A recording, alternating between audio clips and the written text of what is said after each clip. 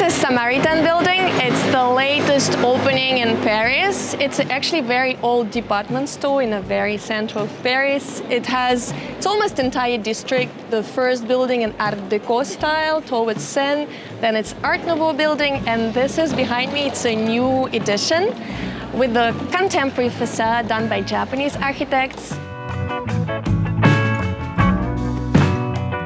So what is interesting to say that it has hotel, it has a commercial store, it has uh, even spa, restaurants, and what is the most interesting, a big part of a social housing.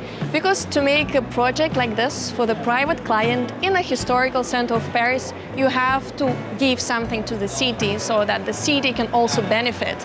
In this case, it's almost 100 units of a social housing, and for us, we can enjoy the plaza in front of it. So this is example of private architecture changing the look of Paris. It originally was a department store, started from this building, then expanded to the building in, front, and basically grow entire district. In 2001, it was bought by LVMH Group, Louis Vuitton Group, and being closed for renovation and now again open so you can see its entire district almost a district which belongs to um, Louis Vuitton group and in front of it it's a headquarter and this new plaza which is also open so you can see all the styles which were renovated and uh, towards Rivoli, a new building which was commissioned to Japanese architects, Sanaa.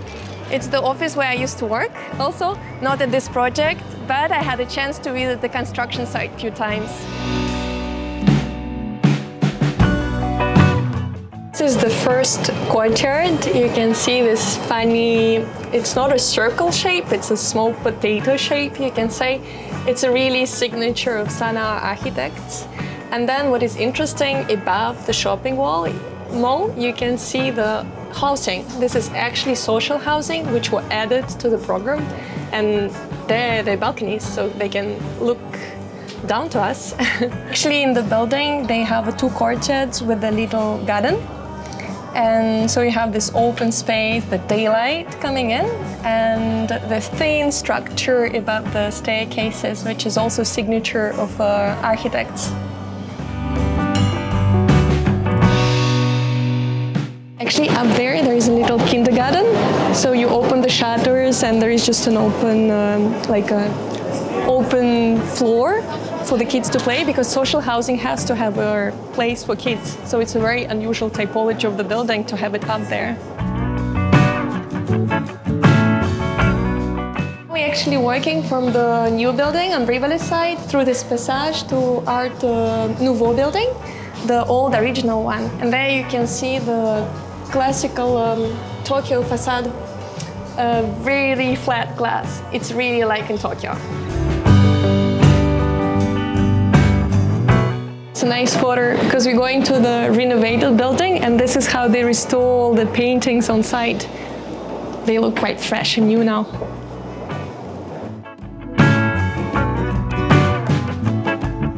This is interior in Art Nouveau style. It was very honest and very on fashion in this time.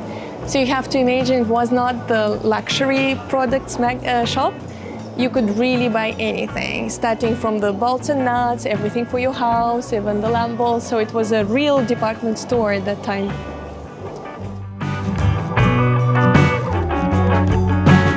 The building was closed for 16 years and just opened recently. All the renovation and reconstruction was going on to make the building contemporary, I mean responding to the fire regulation, security regulation. So Paris was long uh, time awaiting the reopening.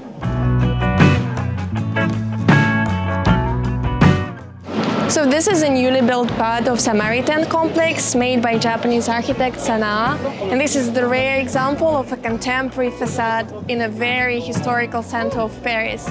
So you can see this glass wave which reflects the buildings in front.